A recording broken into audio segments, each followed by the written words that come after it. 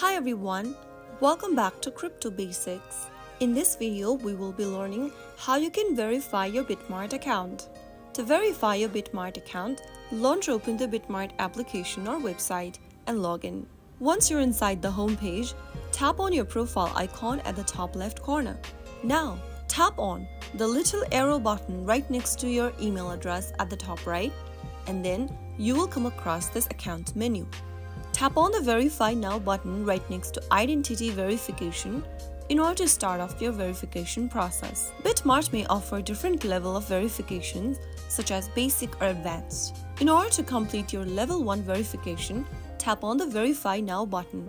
On the next page, you will then need to enter your details such as the name of your country, your first name, last name, and your date of birth.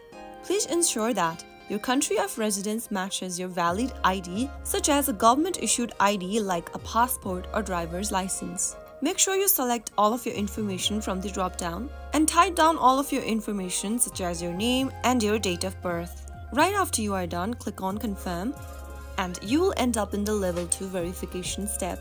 Now in level 2, you will need a government issued ID and facial verification. Tap on the Verify Now button and then complete the following identity verification to ensure the account security. You'll need to select your nationality, scan and upload your ID document issued by your government, turn on facial recognition with mobile phone number. Tap on Verify Now button at the bottom and then toggle on the button right next to I consent at the bottom and click Start. Allow access for your camera by tapping Allow and you will be able to see this camera popping up on your screen. Make sure to go ahead and place your documents such as your passport or driver's license and scan your document with the help of your camera. Follow through the prompts to upload the photos of your ID and any additional documents. Make sure that the photos are clear and meet the guidelines provided by Bitmart. And finally, you will be able to submit your application. Once you submit your application, Bitmart will review your information and it may take a few hours to a few days. And once Bitmart completes the verification review, you will receive a notification about the status of your verification. So that is how you will be able to verify your Bitmart account if everything goes well and if your documents are correct, your Bitmart account will be verified in no time.